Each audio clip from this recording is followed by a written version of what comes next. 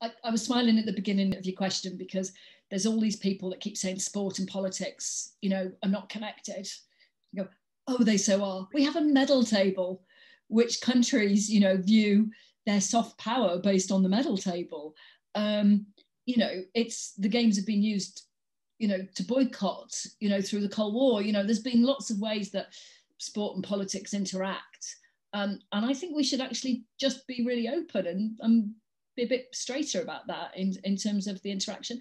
I think I'm quite lucky. So coming from a sports background into politics has been because generally there's a lot of I mean there's lots of decent people in sport, but there's a lot of really decent people in politics. So I don't think for me as an individual it was as big a transition as it maybe looked from from the outside. So